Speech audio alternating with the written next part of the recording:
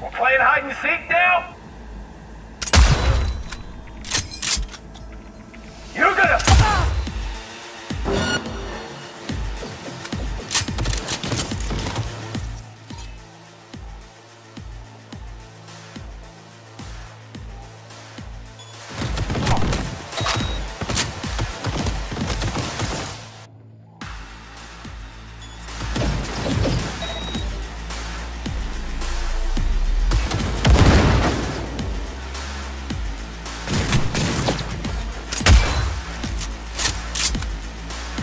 That's what I'm talking about!